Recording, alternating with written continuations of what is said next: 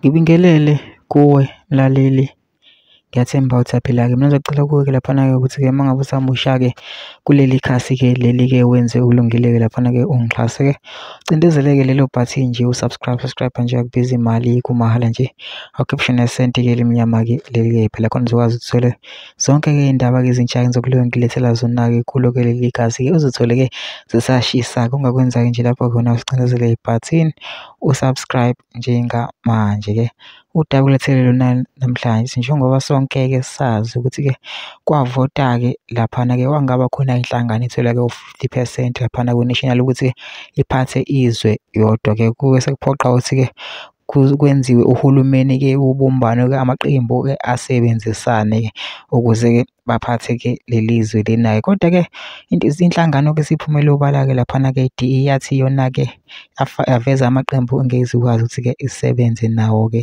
laphana-ke yaveza ukuthi ngeke zikwazi ukusebenza ne-M_K yaveza nanokuthi-ke ngeke zikwazi ukuthi isebenze-ke ne-E_F_F ngenxa-ke yezinto-ke abazifunayo nangendlela-ke abasebenza ngayo-ke. Ithi-ke le nhlangano-ke u-president odiye ithi-ke azifani nhlobo-ke izinto-ke abay'fisayo nala maqembu o-two, so ngeke aze akwazi ukuthi-ke asebenze-ke nawo-ke la maqembu-ke. Mina ngizocela kuwe laphana ukuthi-ke ungene ema-comment section-ke ufishe umbono wakho ngalolu daba-ke lolu-ke ukuthi ngicabanga kanjani-ke masicinza nebhathini nje u-subscribe, subscribe nje akubizi imali kumahhala nje ukhishwe nesenti-ke elimnyama-ke leli-ke khona ngizokwazi ukuthi-ke ngilokhu ngilethela zonke-ke iy'ndaba ezintsha-ke kulo-ke leli khasi-ke leli.